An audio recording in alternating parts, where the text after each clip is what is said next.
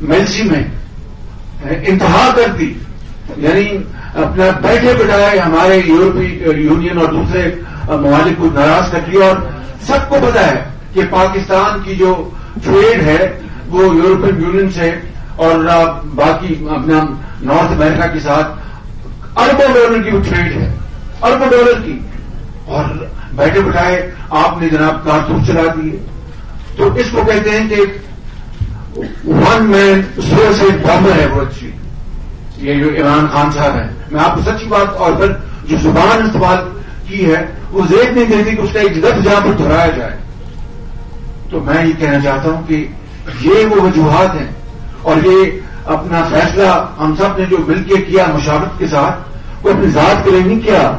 زرداری صاحب نے اپنی ذات کے لیے نہیں کیا، مولانا صاحب نے اپنی ذات کے لیے نہیں کیا، اور باقی جو ہمارے اکابرین ہیں مہنگے صاحب اور دوسرے ہمارے ساتھی، انہوں نے اپنی ذات کے لیے نہیں کیا، پاکستان کے بائیس عوام کی۔ خواہش، جو کہ دن رات آسمان کو دیکھتے ہیں اور اللہ تعالیٰ سے دست بدوا ہے کہ یا اللہ کب اس بدترین نائل اور کرپٹ حکومت سے جان چھوٹے گی۔